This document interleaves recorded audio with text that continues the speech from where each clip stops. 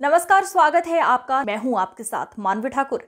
आइए रुख करते हैं आज की खास खबरों की ओर।